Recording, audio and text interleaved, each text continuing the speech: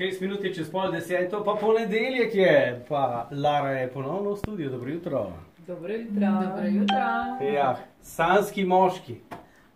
Sobota in nedelja, spet smo imeli kaj videti in smo rekli, le, delili bomo, vedeli, da pa itak. Imeli smo kaj videti, pa imeli smo tudi kaj za komentirati.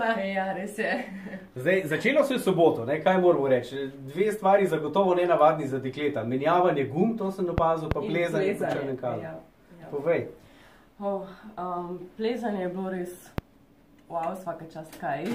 Da se je tako dobro odrezala, jaz ne vem, kako bi se v taki situaciji znašla. No.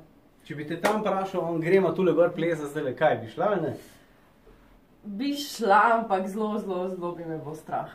Ampak bi šla prek sebe. No. Pa se smo videli, da je bilo njega tudi strah. Ja, je se je bilo njega tudi Strah se sekira, še veš. Vsega je bilo, pa se je še pa delo malo tošota, ne, ker je rekel, jaz moram bolj počasi, ker je me- nekaj gledal. E, ja, ja, ja, da bom, da bom šlo malo še po njeni strani. Ja. Ja, ja, ja.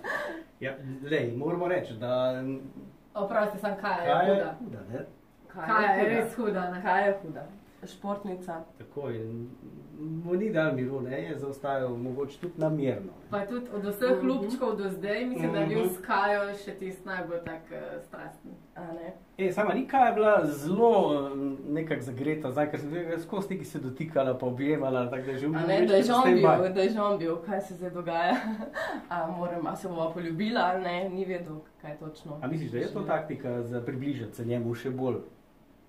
Pa mislim, moški moram narediti ta korak. Kaj pa gume še raufat pa to? Um, jaz pa Lara očitno, mislim, dvomim, da bi jih. E. Ajde, pokaž kot kamero, ker smo Facebook live. Eh, aha. Tako da mi ne vem, če bi bile sposobne gume menjavati. Bi šel kak nohtek, ja. E, sicer pa Arieli, pač, eh, jaz ne vem, koliko je ime tisti z rdečimi lasmi, jaz sem jo poimenovala v Arielo, Polona. Kaj je Polona? Ne, ni polona. Um, Ja, Pustimo. lasa. rdeča lasa, Ariela. Ariela, Ariela, vsi vemo, za katero se gre. Ona se je namreč nog zlamala. Tako da Boga reva, če Ja, more do konca šova ostati s tistim zlomljenim nohtom. je popraviti ga zihar ne more vmes, a ne? Tako da. A misliš, da niso kjer razrihtali, ko dela nohte? Ja, Okej, evo. upamo, da je Lara, dobra ekipa. Lara, v primeru, da postaneš sanska ženska, prvi pogoj je, nohterca mora biti na voljo. ne samo make-up, frizura, pa Tudi a veš, nohterca, ja. Včeraj, ko so bile pa vrtnice, pred vrtnicami pa smo imeli dve stvari. Prva je bila Tjaša, ne, razkrita, da je frendica dejansko Ja, njegova in so se ja. punce začele verjetno spraševati, kaj so vse bleknile. Mhm, pred njo, a ne? In kako so se obnašale, ko je prišla v hišo. Eh. Oprosti, ampak eh, Tjaša je bila fejst očitna, da, da ni ena izmed tekmovalk, vsaj za me, vsaj jaz sem videla, da pač ni, nima, ni imela ti, niti tiste iskrce pri njemu. Da, da bi bila zagreta, da bi Tako. se videli. Da... E, a nima nekih dveh klanov zdaj tam? Ti si to bolj zdaj spremljala.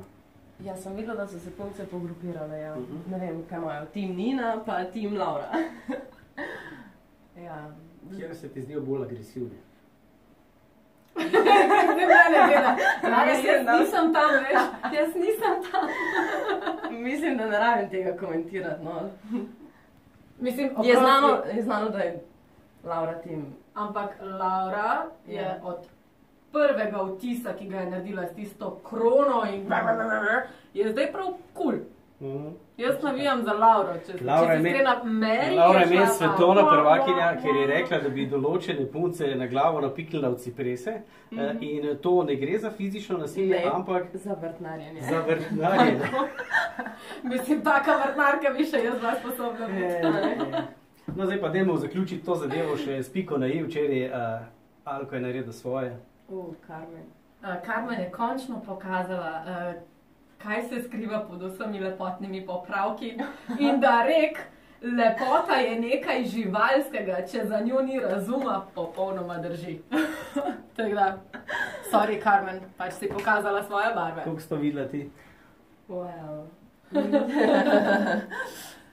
Kako sem jaz to videla?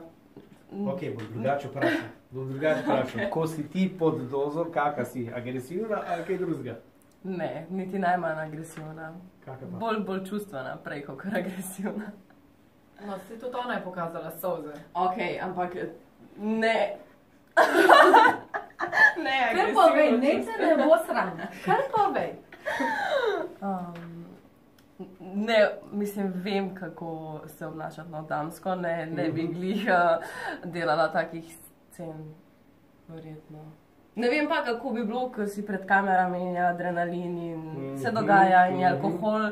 Tako da, Ja, Ne vem. to je to. Tako, ona je itak povedala, da še ima zdaj cel kup informacij, ki jih bo izdala o puncah, tako da se obeta nadaljevanje zelo vroče. Pa še Zelo nove punce pridejo noter, ne? med njimi tudi celjanka Sara. In to ta rozasta Sara. Lara, kaj imaš za povedati? Kaj misliš, kako se bo Sara obnesla? Gaj, sem ziher. bomo videli. Do To ni ponedeljka. bil pričakovan odgovor. Ne, tudi imaš taki medved Ja. govor, take. Pač, dej pa vej. Sara, po mojem, zna še kako štreno zmešati, Kako gajsno je. kako res orn štalo narediti. Ja. Jaz imam sicer ene insiderske informacije, da je zelo dobra pri futbalu, tako da ta je naš Grega, nek futbaler, glih ni. To je že Kaja dokazala, počitno bo Sara tudi. Bomo videli, kaj se bo dogajalo. Ne? Po mojem bo pa zelo zelo. Oh, mm -mm. Čakaj, da vidimo, kaj bo buto. Bomo zdaj le Petka. probali iz vetra. Uh, hvala ti, Lara, za tale klepet do ponedeljka, na slišanje pa na videnje. Ne? Tako. Se vidimo. Čau. Čau, čau.